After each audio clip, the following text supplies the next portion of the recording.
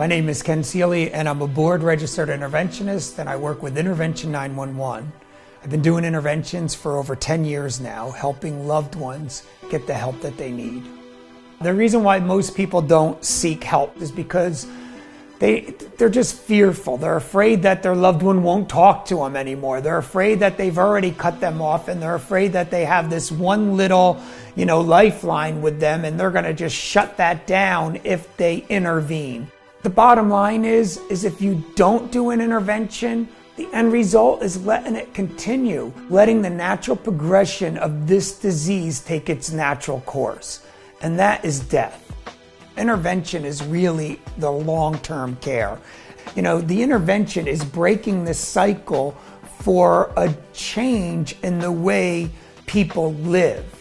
And that's everybody involved in that addict's life. So, you know, when we say we're intervening, we're intervening at the very beginning stages, but we're following for three to five years. That's when people get long term recovery and live the life that they deserve. If you think an intervention is about getting them to go to treatment, forget it. The chances are very low for, for a change in the family system. That's not going to change. That's not going to keep them in recovery. It's really about keeping them accountable to following the recommendations for a long period of time. That's what an intervention is, is making sure everybody's held accountable for that time.